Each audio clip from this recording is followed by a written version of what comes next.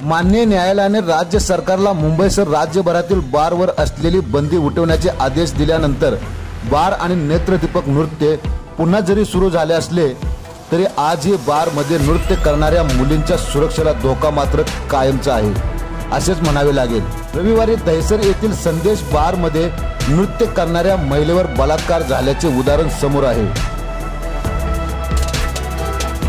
Dahisar police station में आज यानी रविवार की सुबह में इसी बार की एक बार डांसर ने अपने एक ग्राहक पर बलात्कार का मामला दर्ज किया। फ़िलहाल पुलिस ने बारगल की शिकायत पर उस कस्टमर को गिरफ़्तार तो कर लिया है, लेकिन बार के बारे में अधिक जानकारी लेते हैं। यहाँ के जो कर्मचारी है, उनसे बात करते हैं कि आखिर ये मामला क्या था, क्योंकि एक कस्टमर के खिलाफ बलात्कार जैसा संगीन मामला दर्ज करवाना अपने आप में एक अलग बात होती है।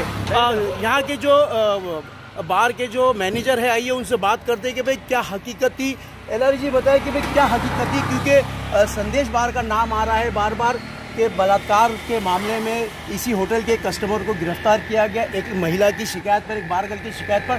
तो क्या मामला है उसके बारे में बताएँ। मामला बोलेगा तो ये अपना लड़की अपना होटल का नहीं है बोले तो रिप्लेस के लिए एक दो दिन के लिए कल अपना संदेश में काम किया है लड़की ने। क्योंकि अपना जूना लड़की कल दो दिन से अपना होटल में आ रही थी और जानबूझ के उसको कस्टमर को साथ में वो उसका जान पहचान का कस्टमर था वो वो साथ में उसका साथ में उसका पहचान भी था, दो दिन के लिए वो कस्टमर लड़की आया, इसके बाद एक दो दिन अपना होटल में आया था वो। और वो साथ में उसके साथ में वो पहले हम लोग लड़की को रिक्शा में भेज दिया था। बाद में वो कस्टमर को उसने खुद फ़ोन करके बोला कि पेट्रोल पंप से साथ में वो कस्टमर के साथ निकल गई थी।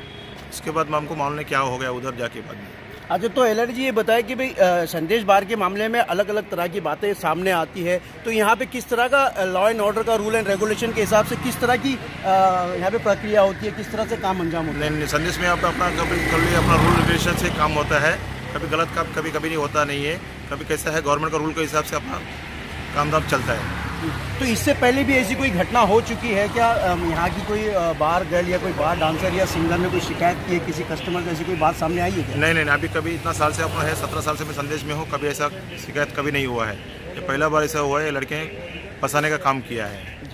तो जिस तरह से आपने देखा कि इस होटल की एक बार डांसर ने जो है एक अपने कस्टमर पर बलात्कार का संगीन मामला दर्ज किया है। अगर आपको बता दें तो दो महीना पहले ही मीरा रोड की एक सिमरन नामक एक लड़की ने अपने ही एक प्रेमी निज़ाम, उर्फ़ निज़ाम कालिया पर बलात्कार का मामला दर्ज किया है। लगातार ये तीसरे महीने में बार डांसर के ऊपर दूसरा बलात्कार जैसा मामला मुंबई पुलिस में दर्ज हुआ है। मुबारक शेख। मुंबई. एनबी मॅक्स मराठीवर वृत्त प्रसारित होताच पीडित मुलीने स्वतःची प्रतिक्रिया दिली आहे. काय म्हणाली ती पहा. मैं ही वो लड़की हूँ मेरे साथ उसने रेप किया है। तीन दिन हुआ था मुझे संदेश बार में काम ज्वाइन करके। वहाँ पे आके हमारा नंबर लिया शनिवार की रात को और हमको नंबर लेके फ़ोन पे बात करता है कि पाँच मिनट बाहर मिलो। हमने बोला, फ़ोन पे ही बात करो।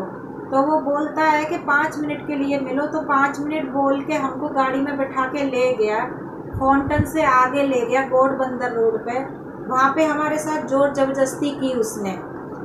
ज़बरदस्ती रेप किया, धमकाया, मारने की धमकी दी। बहुत उसने मेरे साथ गलत किया। मैंने उसको हाथ जोड़ के बोला, हमको छोड़ दो। तो हमको नहीं छोड़ रहा था। सुबह का चार बजे हमको छोड़ा। हमको बहुत परेशान किया है। हम चाहते हैं उसको सज़ा मिले और बहुत बड़ी सज़ा मिले, हम चाहते हैं। हमने इसलिए केस दर्ज कराया है।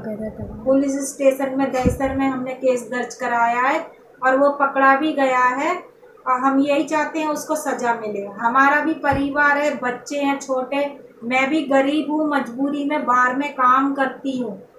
उसने हमारे साथ बहुत गलत किया है।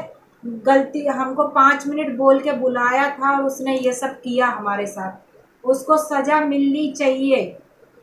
न्यायालयाने डान्स बारवरील बंदी उठवण्याचे आदेश राज्य सरकारला जरी दिले असले तरी मुंबई सहित राज्यभरात जवळजवळ तीन हजाराच्या आसपास डान्स बारमध्ये डान्स करणाऱ्या मुली व महिला असून त्यांच्या सुरक्षेसाठी अजून तरी कोणतेच कायदे नसल्यामुळे राज्य शासन कोणता उपाय योजना व कायदे करेल याकडे मात्र सर्वांचे लक्ष लागले आहे. Mubarak Shaikh N B max Marathi Mumbai. Dahisar परिसरात एका बार डान्सरवर बलात्कारचं प्रकरण. एन बी मॅक्स मराठी मुंबईवर प्रसार झाल्यानंतर स्वतः फिर्यादी मुलीने आम्हाला एक व्हिडिओ पाठवला आहे. त्यात त्यांनी स्पष्ट केलेलं आहे की त्याने कुठल्याही प्रकारचा ब्लॅकमेलिंग किंवा पैशाची मागणी केलेली नव्हती. मुलीच्या ह्या प्रतिक्रियेनंतर हे स्पष्ट होत आहे की मुंबईच्या लेडीज़ बारमध्ये काम करणारी प्रत्येक मुली आपला अंग विकून किंवा कस्टमर लोकांना फसवणूक करून पैसे कमवत नाही. एन पी मॅक्स मराठी मुंबईसाठी सिनियर जर्नलिस्ट मुबारक शेख. आपल्या चॅनलला लाईक करा सबस्क्राईब करा शेअर करा. पाहत राहा एन बी मॅक्स मराठी.